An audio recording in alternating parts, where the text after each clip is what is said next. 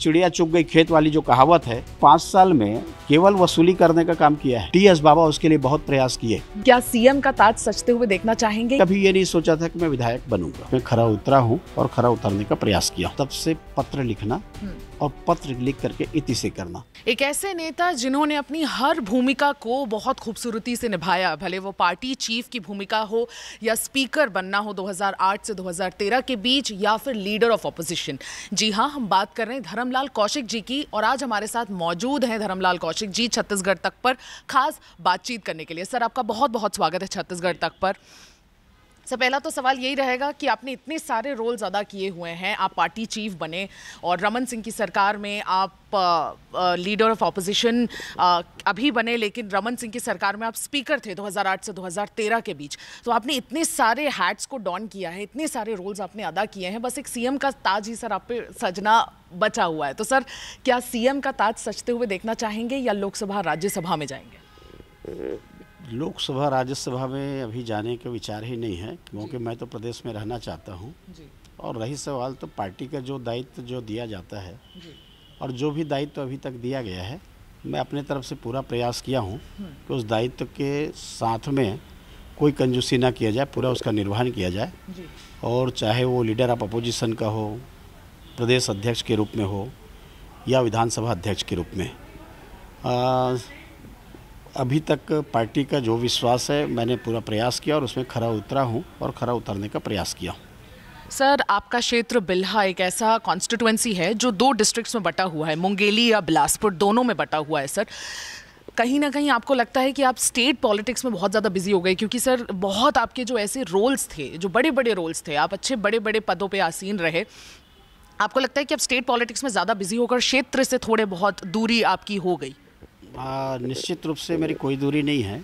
मैं क्षेत्र मेरा शुरू हो जाता है कि जैसे ही आप नान घाट क्रॉस करेंगे और उसके बाद में एक तरफ़ मारो है नवागढ़ विधानसभा दूसरे तरफ़ आपका सिरतन का है और वहीं से मेरा शुरू हो जाता है बिलासपुर जाते तक। तो इसलिए जब भी मैं यहाँ से निकलता हूँ तो पूरे क्षेत्र कवर करते हुए कार्यक्रम बना करके जाता हूँ। और जब वहाँ से रायपुर मेरे को आना होता है तो रायपुर रात को पहुँचता हूँ दिन भर कार्यक्रम करता हूँ। मेरा निकट का संबंध और क्षेत्र के बारे में मैं जितना बता सकता हूँ। एक एक गाँव के गली और आपके सड़क के मोड़, कहाँ पर कहाँ कैसी स्थिति है, अभी क्या स्थिति है एक जनप्रतिनिधि के लिए ये कठिन होता है, लेकिन मैं अपने पूरे क्षेत्र के गाँवों को बिना नक्शा देखे, बिना नाम देखे आपको बता सकता हूँ, वहाँ के लोगों का नाम बता सकता हूँ और क्या विकास डॉक्टर रमन सिंह के कार्यकाल में हुआ है मेरे विधायक बनने के बाद में हुआ है वो सारी चीज़ें मैं आपसे रख दूँगा।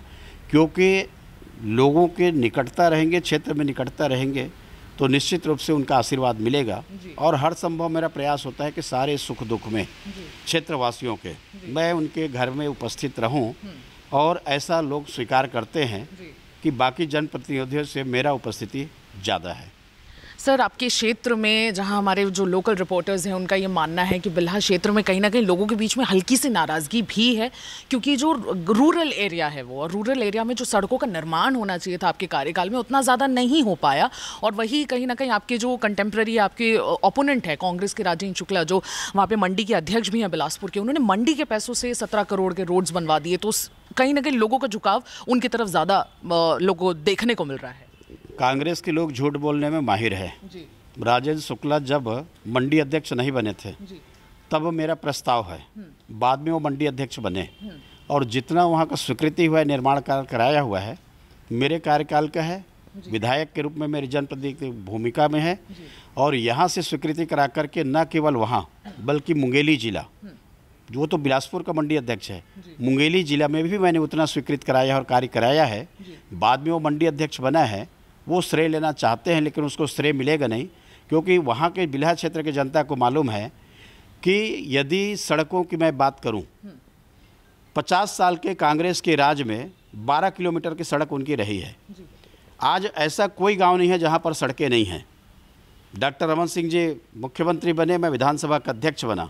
एक एक गाँव का प्लान किया मैंने और सारे गाँव को सड़कें से जोड़ने का काम उतना ही नहीं उस गाँव से आपको वापस नहीं आना है। बल्कि उस गाँव से आगे आपको लिंक सड़क बना करके जोड़ने का काम किया। दुर्भाग्य यह है कि कांग्रेस के सरकार आने के बाद जिन सड़कों का हमने निर्माण कराया है, उन सड़कों का पेच रिपेयर करने की स्थिति में आज कांग्रेस की सरकार नहीं है।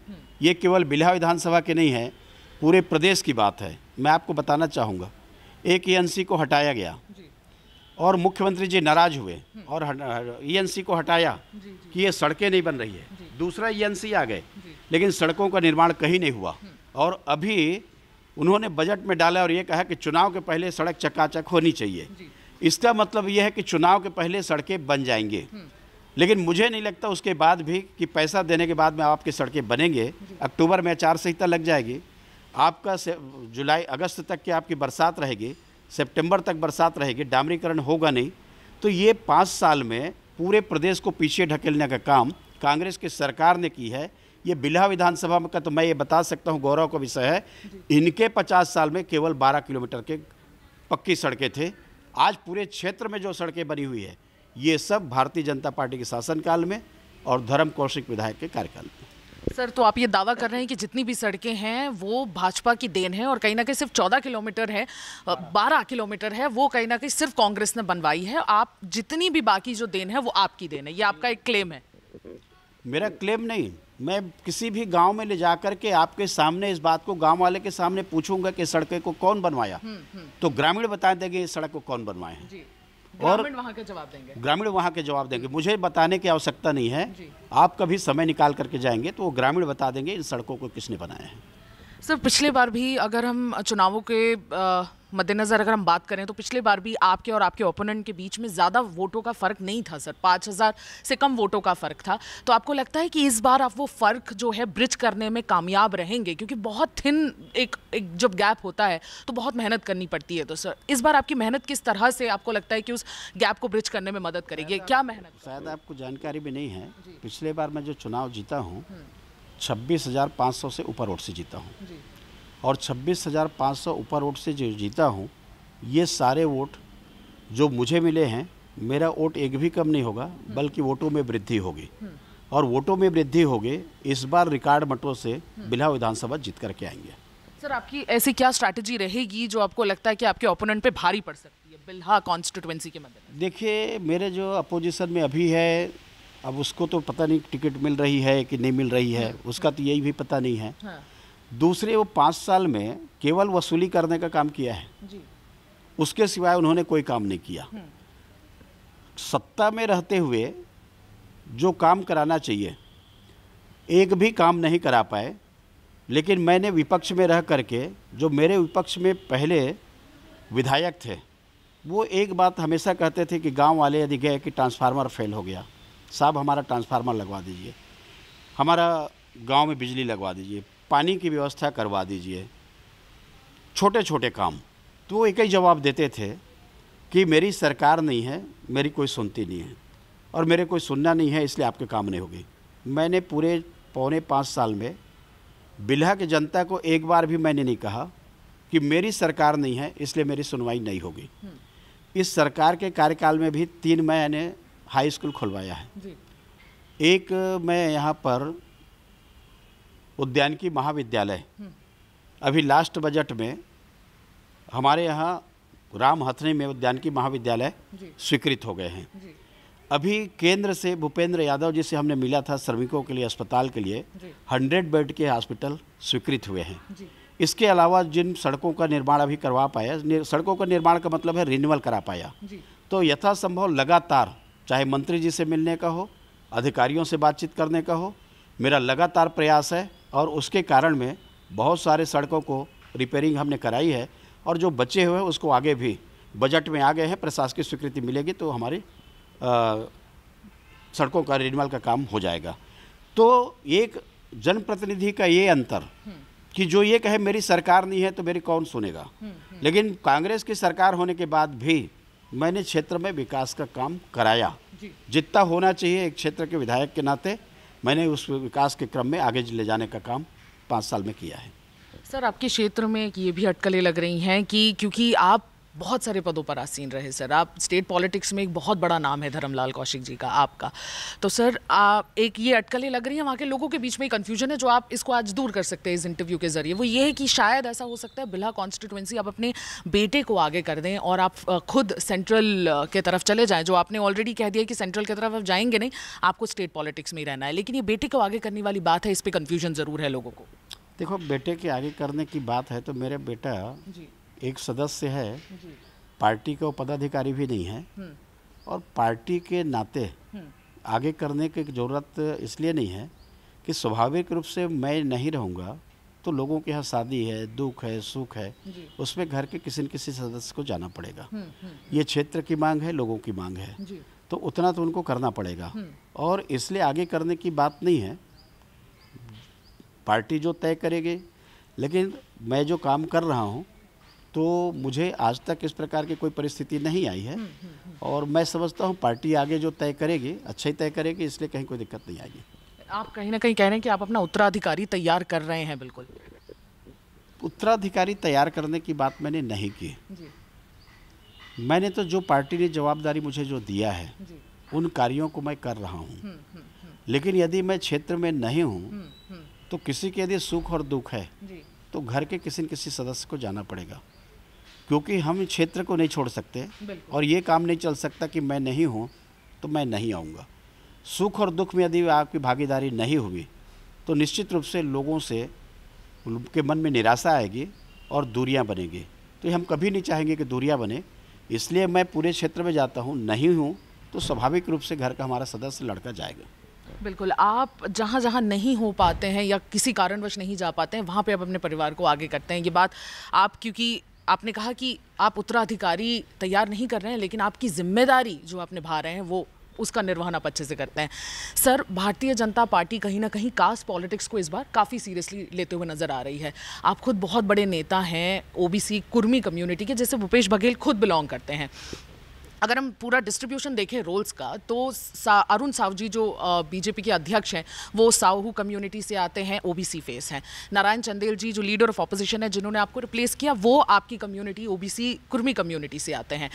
कहीं ना कहीं आपको लगता है बीजेपी ये जो ओबीसी वर्सेज ओबीसी करने की जो कोशिश कर रही है वो बीजेपी के लिए फ़ायदेमंद हो सकता है?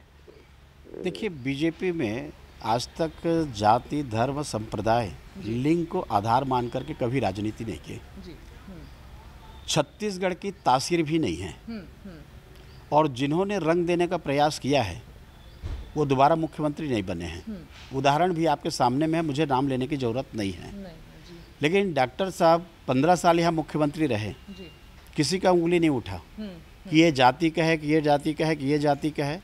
न डॉक्टर साहब ने डॉक्टर रमन सिंह जी ने प्रयास किया कि जाति के आधार पर यहाँ की राजनीति करनी है।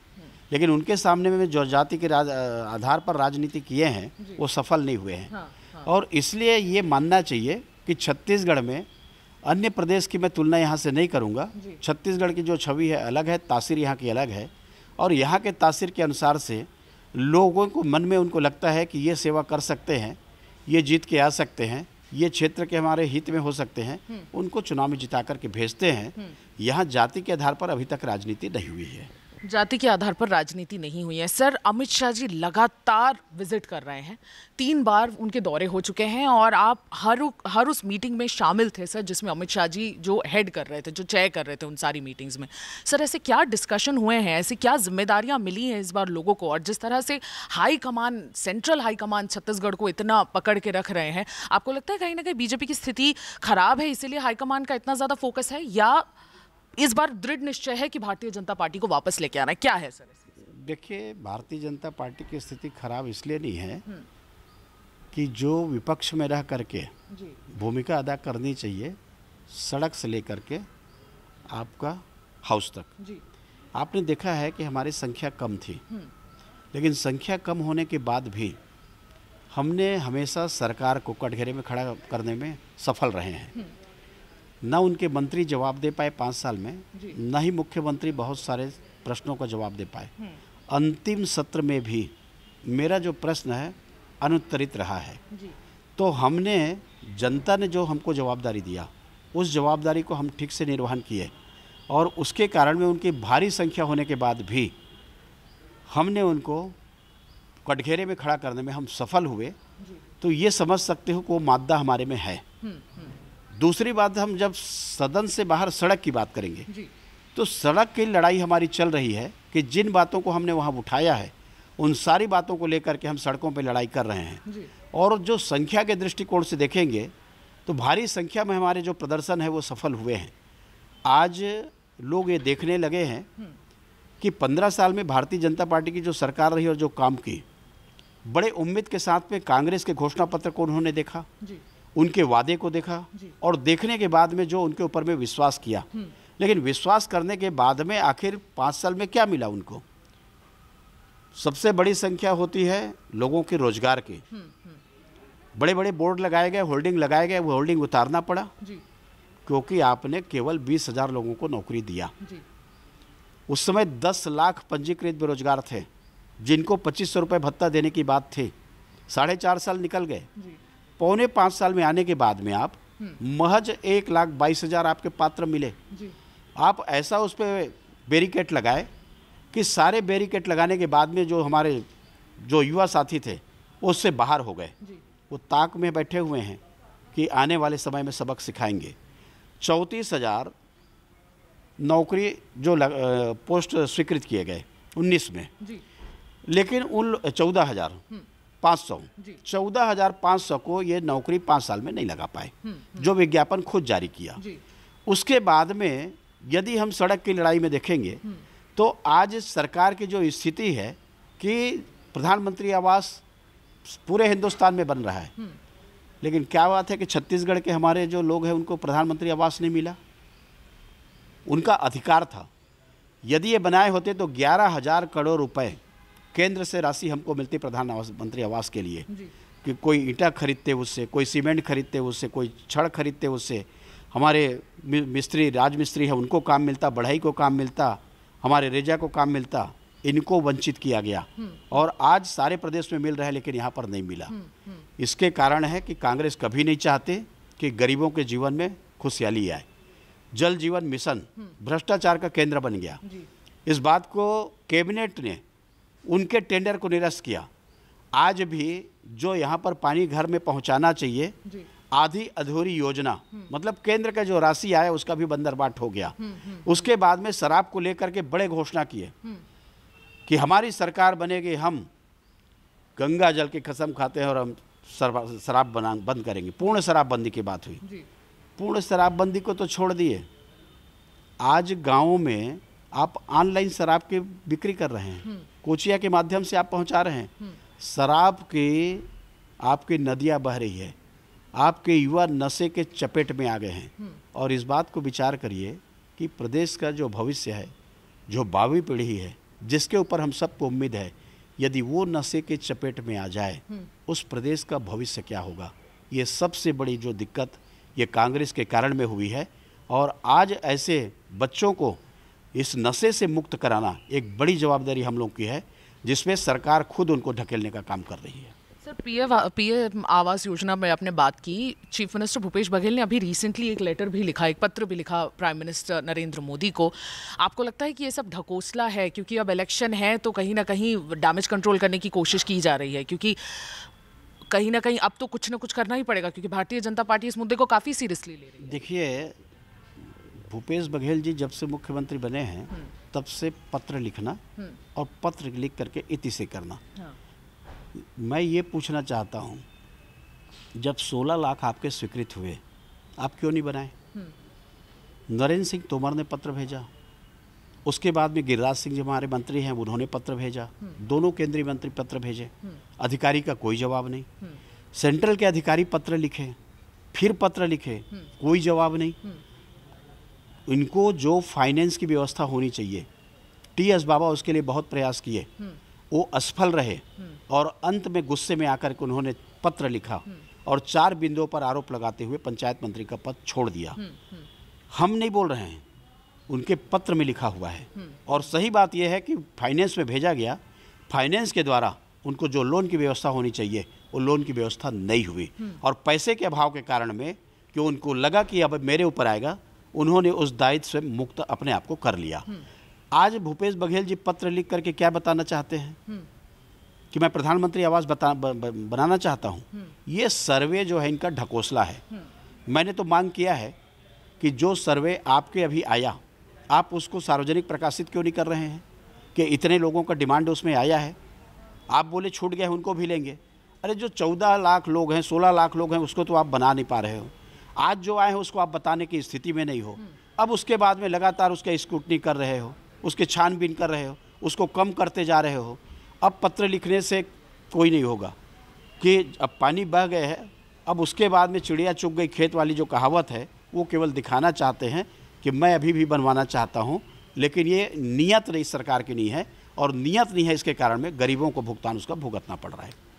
सर आप लोगों ने गौठान स्कीम जो भूपेश बघेल जी के सरकार की सबसे बड़ी एम्बिशियस स्कीम रही है उस पर भी आप लोगों ने घोटाला सामने कर दिया है सर। और वहाँ से आरोप प्रत्यारोप भी लगातार चल रहे हैं। तो इस घोटाला के बारे में ज़रा बताइए आप लोगों ने ये जो विधानसभा में उठाया है। अभी विधानसभा में प्रश्न उठाए थे जी। तो इनके द्वारा ये बताई गई कि हमने कुल इतने का गोबर खरीदी किया। हम्म, हम्म। अब इतने का आपने गोबर खरीदी किया तो उसका आपने गोबर का क्या बनाया? और उसको उत्पाद क्या क्या है और जिसको आपने बेचने का काम किया और कितना आपके पास में बचा हुआ है। हम्म। मंत्री का जवाब आया कि सत्रह करोड़ रुपए का हमने उत्पाद बना करके बेचा है हम्म। चाहे वर्मी कंपोस्ट हो या अन्य उस पर पेंटिंग की बात करते हैं और जो बात करते हैं सत्रह करोड़ का। हाँ। दो सौ उनतीस करोड़ का हिसाब इस सरकार के पास में नहीं है। हम्म, मंत्री बताने में असफल रहे। हम ये नहीं बोल रहे हैं। मंत्री का जवाब है। मतलब आपने गोबर में भी बड़ा घोटाला किया। मैं जब नेता प्रतिपक्ष बना, मेरा पहला भाषण था। और पहला भाषण में मैंने कहा महामहिम राज्यपाल के अभिभाषण कृतज्ञता ज्ञापन में, कि मुख्यमंत्री जी, आपके पहले भी जो मुख्यमंत्री हुए हैं, और उन्होंने सफ़ेद मुसली लेकर के आया था और आज पता नहीं हो सफ़ेद मुसली का। मैं बोला, मुफ़्त में सलाह देने वाले मिल जाते हैं, और आपको भी मिल गए हैं। इसलिए नरवा गुरवा बारी के चक्कर में मत पड़ो आप। क्योंकि लालू का जो चारा घोटाला है उससे बड़े घोटाला आपको आएगा सामने। हम्म। आज आपको पता नहीं लग रहा है आपको पता लगेगा। हम्म। और आज देखो गोबर खरीदी में दो सौ उनतीस करोड़ का घोटाला सामने आया है। हम्म, आखिर कोल्ड स्टोरेज में उस गोबर को रखा गया है कि कहाँ खपाया गया है? लेकिन हिसाब इनके पास में नहीं है। और सही बात यह है कि गाँव में गोबर की खरीदी नहीं हो रही है। हम गौठान में गए थे जाने के बाद में वहाँ महिलाओं से पूछे। महिलाओं ने बताया कि भैया हम लोग चक्कर में फंस गए इसके। एक साल में हमारा कोई पेमेंट नहीं हुआ है।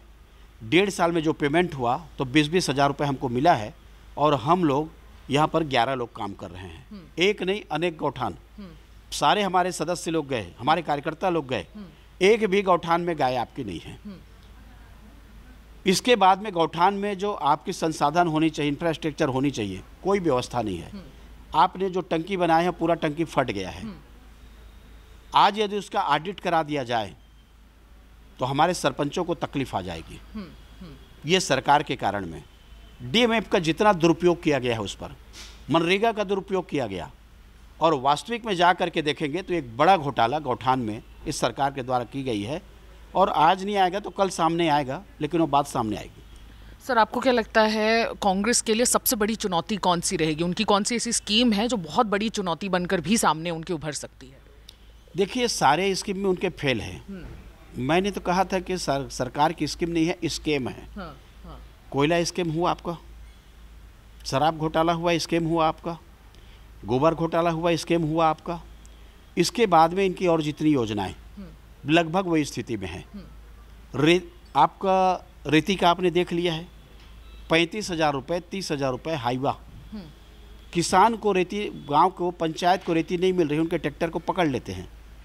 अभी आपके 15 जून से 15 अक्टूबर तक इन जेटी के तरफ़ अभी आप वहाँ से रेत खनन नहीं कर सकते। एनजेटी के नियमों का खुलेआम उल्लंघन हो रहा है। और उल्लंघन करके आज भी रेत निकाले जा रही है। एक बड़ा घोटाला रेती में है। उसके बाद में जो ज़मीन का मामला अभी बहुत सारा लफड़ा चल रहा है हम्म। ऐसे बहुत सारे जो मामले हैं जो इनके जनता जवाब इनसे चाहेगी हम्म। जो इन्होंने घोषणा पत्र जारी किया और उसमें कहा कि हम पूर्ण शराबबंदी करेंगे उन्होंने कहा कि हम बेरोजगारों को भत्ता देंगे उन्होंने कहा कि हम पूर्ण हम्म। ये जो कर्जा माफ़ी करेंगे उसके बाद में जो एक हज़ार रुपये पेंशन देंगे ऐसे मंडी टैक्स हम माफ़ करेंगे, छूट करेंगे। ऐसे बहुत सारे मामले इनके द्वारा जो घोषणा की गई है, ये उससे उबरने वाले नहीं हैं, ये फंसेंगे और अपने ही घोषणा पत्र में, भंवर में फंसने वाली है। बाकी तो इनका करप्शन पूरे हिंदुस्तान में हिंदुस्तान में करप्शन की पराकाष्ठा कहीं देखना है तो छत्तीसगढ़ में जाके देखना चाहिए। सर, बीजेपी ऐसा क्या देगी जनता को? पावर में अगर आ जाती है बीजेपी 2023 में तो ऐसा क्या देगी जनता को जो कांग्रेस देने में विफल रही? देखिए बीजेपी ने पंद्रह अटल जी ने छत्तीसगढ़ राज्य को बनाया।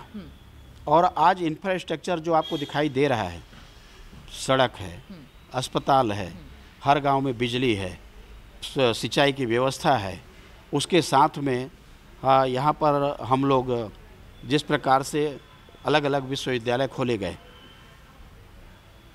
आज बच्चों के लिए आपके ट्रिपल आईटी से लेकर के एम टेक जो और आईएम की व्यवस्था, उसके साथ में जो इंफ्रास्ट्रक्चर मैंने कहा तो दोनों प्रकार के हम लोगों ने काम किया। एक तरफ़ सड़क में संसाधन, सिंचाई का संसाधन, पंचायतों को समग्र रूप से राशि, पंचायत का विकास, गाँवों का विकास, और उसके बाद में हमारे सड़कों का जाल बिछाया गया, सिंचाई की योजना बनाई गई। शिक्षा के क्षेत्र में अभूतपूर्व काम। अभूतपूर्व काम मैं कह सकता हूँ। उस समय drop out rate one percent था। आज थोड़ा सा पूछेंगे कितना है। शिक्षा के क्या स्थिति है दुर्गति है आप उसके सामने देख रहे हैं। और इसके साथ में रोज़गार कैसे हम दे सके युवाओं को। इस दिशा में हमारी महत्वपूर्ण कदम होगी। औद्योगिकरण भी होगा। उसके साथ में लोगों को रोज़गार के दिशा में काम भी होंगे। इसके साथ में हम खेती को और आगे बढ़ाएँगे। सिंचाई के क्षेत्र में आगे बढ़ेंगे कि जिससे किसानों को और गाँव के लोगों को रोज़गार मिल सके। एक्चुअल में आज काम करने की आवश्यकता है कि छत्तीसगढ़, जिस कारण से अटल बिहारी वाजपेयी जी बनाए हैं, हिंदुस्तान के जो विकसित प्रदेश है, उस श्रेणी में ले जा करके छत्तीसगढ़ को रखना है। वो सारे काम जो बचे हुए हैं, हमने पंद्रह साल में काम किया है। आगे अवसर जनता देगी, आशीर्वाद मिलेगा। तो ये बहुत सारे काम बचे हुए उन काम को हम करेंगे, क्योंकि कांग्रेस से अब लोगों को अपेक्षाएँ खत्म हो गई है। कांग्रेस से अपेक्षाएँ खत्म हो गई हैं। सर, अब मेरा काफ़ी आपसे एक कुछ निजी सवाल भी है, सर।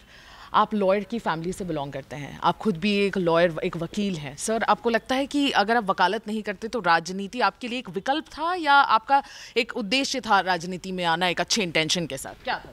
देखो मेरे पिताजी की इच्छा थी कि मैं वकील बनूं। जी। और इसलिए मैंने वकील बना। और वकील जब मैं बना तो मुझे नया मोटरसाइकिल खरीद के दिए उस समय। H D. साथ में मुझे दस रुपए दिए। तो मैं उस समय साढ़े तीन लीटर पेट्रोल के थे। जी। तो बोले कि आप पहले दिन मेरे को दस रुपये दिए और बोले रोज़ दस रुपये लेकर के जाना। साढ़े तीन लीटर का तीन रुपये का पेट्रोल भराना। जी। बाकी जो दिन भर रहोगे तो चाय नाश्ता। भगवान की ऐसी कृपा रही मैं पिताजी ने पहले दिन दस रुपये दिया। जी। उसके बाद से वकालत मैंने किया कभी घर से पैसा लेने की मुझे आवश्यकता नहीं पड़ी। भगवान की कृपा रही है वकालत में भी हम कामयाब रहे। और अच्छा वकालत किए। एसडी जो गाड़ी थी वकालत में हम उपयोग किए लेकिन उसके साथ में चूँकि पिताजी हमारे लगातार सरपंच रहे और हमारे बीजेपी के नेताओं का जनसंघ के समय को समय नेताओं का आना जाना घर में रहा तो स्वाभाविक रूप से झुकाव हमारा उसी दिशा में हुआ। जी। तो जनसंघ के हम मतदाता नहीं थे लेकिन झंडा लेकर के हम निकलते थे और बच्चों के साथ निकल करके हम नारा लगाते थे। उस समय मदन भैया हमारे बहुत बड़े नेता थे। और उनके पूरे क्षेत्रों में एक जागरण करने का काम जनसंघ के लिए था उन्होंने किया। जी। तो उस दृष्टिकोण से यदि कहेंगे तो धीरे धीरे उस दिशा में काम करना शुरू किया।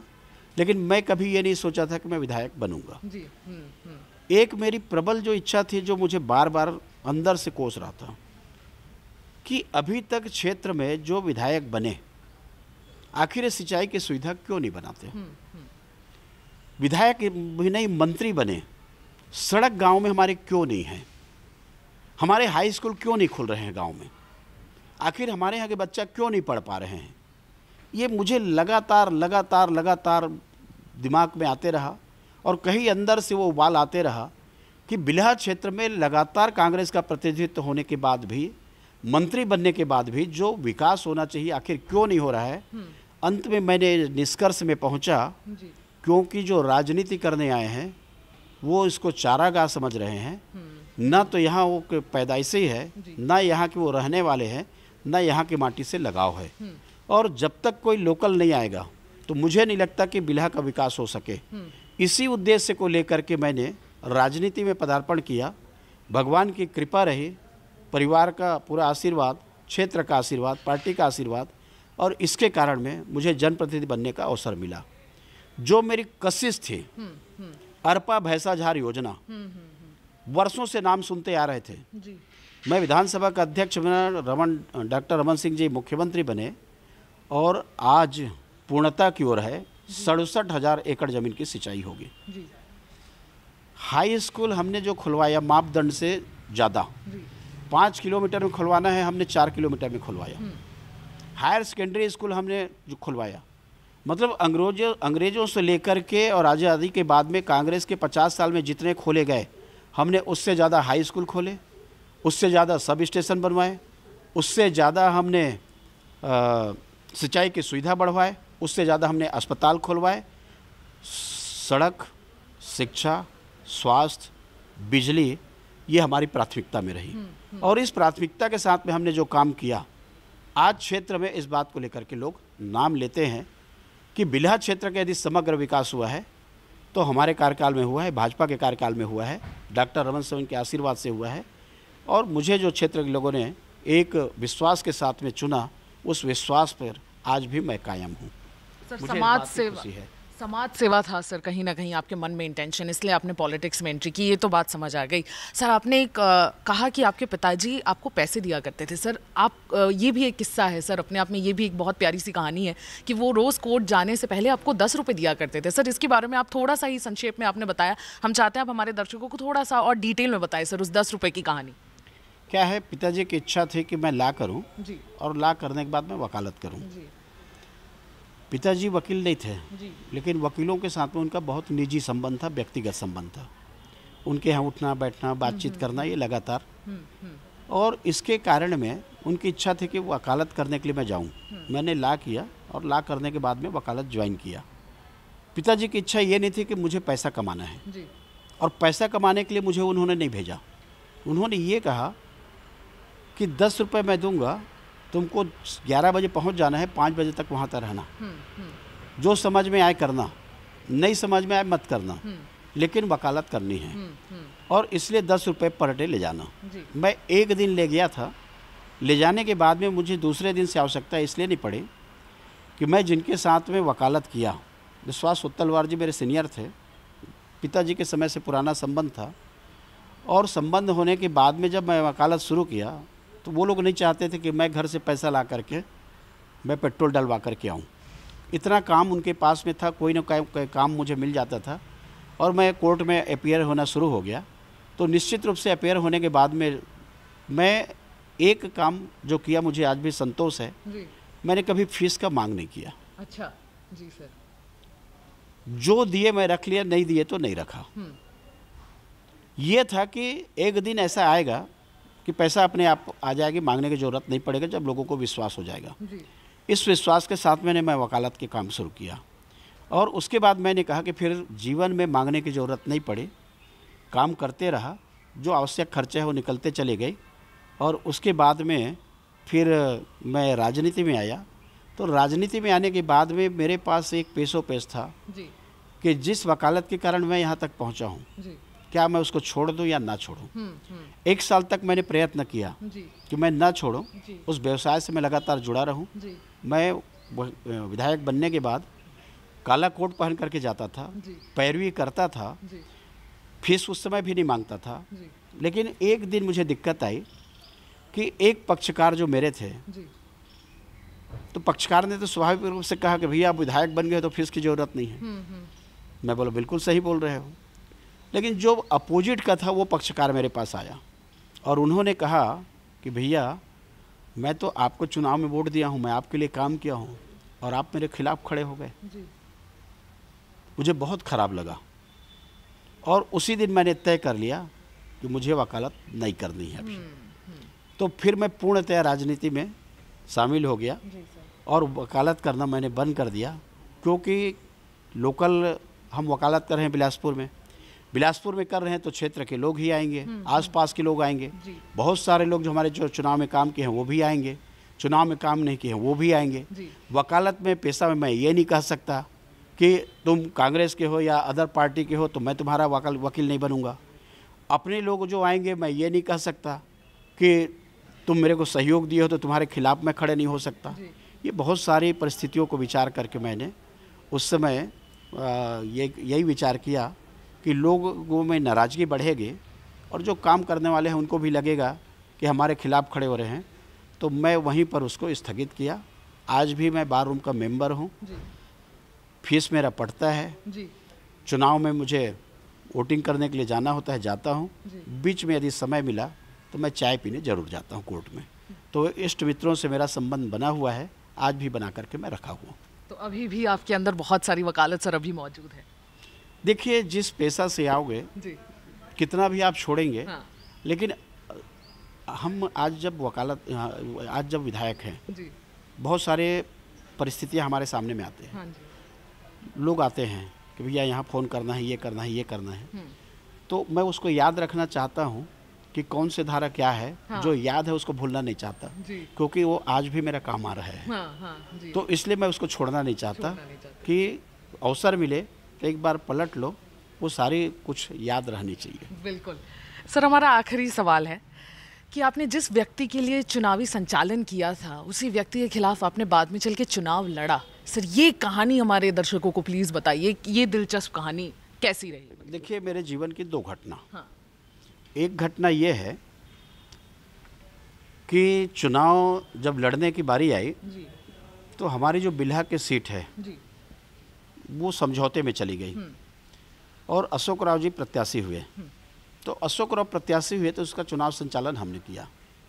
और चुनाव संचालन किया तो पूरे क्षेत्र भर में हमने कहा क्योंकि वो नए आदमी थे क्षेत्र के लोगों से परिचय नहीं था। और हमारे दल का भी नहीं था। इस नाते गाँव के लोग जानते नहीं थे। जी। तो हमने ये कहा कि आप उनको मत जानिए आप हमको जानिए हाँ। और उनको वोट दीजिए। हाँ। तो हमने पूरे उनके जमानत लिया। और जमानत लेकर के उनको वोट दिलवाया और चुनाव जीत करके आए। चुनाव जीत के आने के बाद में थोड़ी देर बाद में मूल कांग्रेसी रहे वो कांग्रेस में वापस चले गए। हाँ। और वापस होने के बाद में मुझे टिकट मिला तिरानवे में। जी। पहली बार मैं चुनाव लड़ा। जी। तो तिरानवे में मुझे उनके ही खिलाफ चुनाव लड़ना पड़ा। जिनको लेकर के क्षेत्र में मैंने इस बात को प्रचारित किया था जी। कि मैं उनका जमानत ले रहा हूँ वो अच्छा काम करेंगे। जी। लेकिन वो चले गए पार्टी ने अवसर दिया चुनाव लड़ा उस समय यूएम मशीन का ज़माना नहीं था हाथ वाले टेबलेशन था। सोलह सौ वोट मेरा रिजेक्ट हुए हाँ। और उस समय सवेरे तक के लगभग कांग्रेस की सरकार बनेगी ऐसी स्थिति रिज़ल्ट आ गई थी। मात्र एक सौ सतासी वोट से मुझे पीछे कोई भी कारण हो लेकिन मैंने पीछे हुआ। और एक सौ सतासी वोट पीछे होने के बाद में मैं बाहर निकला तो मेरी रैली निकली। जी। लेकिन जो जीतने वाले थे उनकी रैली नहीं निकली। जी।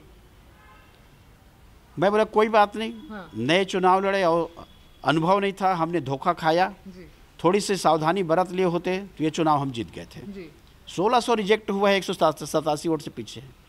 फिर जब दोबारा चुनाव हुआ तो हमने दस हज़ार तीन सौ बयालीस वोट वोट से उनको हमने पराजित किया। और उसके बाद वो राजनीति में उनका ख़त्म अंतिम हो गया समझ लीजिए। छोड़ दिए वो। जी। आज तो दुनिया में नहीं है उनके बारे में मुझे कहना उचित नहीं है। जी। क्योंकि मेरा संबंध रहा है उनसे और मधुर संबंध रहा है। हाँ। लेकिन राजनीति के तहत जब मुझे अवसर मिला तो स्वाभाविक है मुझे जीतना चाहिए। जी तो मैंने जीता भी और दस हज़ार से। वो जीते एक सौ सतासी वोट से जी। मैं जीता दस हज़ार से ऊपर वोट से। जी। दूसरी घटना मेरे जीवन की कि मैं विधानसभा का अध्यक्ष था। जी। अध्यक्ष का काम है विधानसभा को बैलेंस करके चलो। हम्म। क्योंकि प्रत्येक जब तक विपक्ष को विश्वास में आप नहीं लोगे आप विधानसभा नहीं चला सकते। हम्म, और इसलिए उसको बैलेंस करके चलो। ये मेरी स्थिति रही। जी। लेकिन विधानसभा अध्यक्ष के बाद में सीधा नेता प्रतिपक्ष बनना। हाँ हाँ। और नेता प्रतिपक्ष बनने के बाद में कल तक जिनके साथ में चले उसको लेकर के चले हो जी। उनके खिलाफ में उतरना मैदान में और मैदान में उतर के फिर उनके साथ में जी। उनके जवाब देना। लेकिन ये भगवान की कृपा है मुझे शुरू शुरू में थोड़ा सा लगा प्रथम सत्र में कि कैसे होगा मेरे से। हम्म।